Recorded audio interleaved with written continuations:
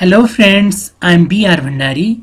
Today I am going to show you how to convert normal video to Full HD using VLC Media Player. I will show an example by converting this video. Let's see its property.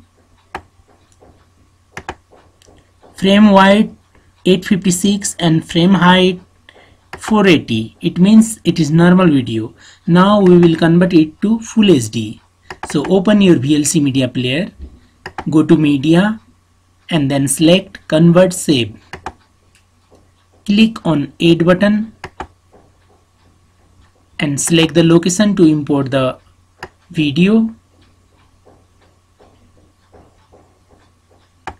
Click on the video and open it.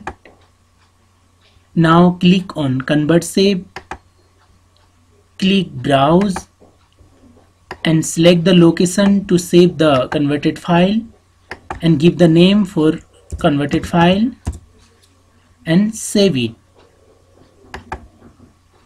Now click here and then select video for MPEG 4 1080p. It means it is full HD and finally click on start. You can see at the bottom it is converting.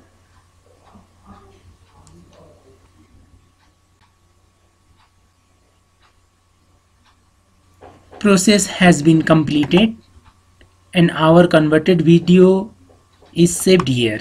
Let's see its property. Frame width 1920 frame height 1080 1080 means it is full HD I hope you enjoyed this simple video and please subscribe my channel to get more simple videos. Thank you for watching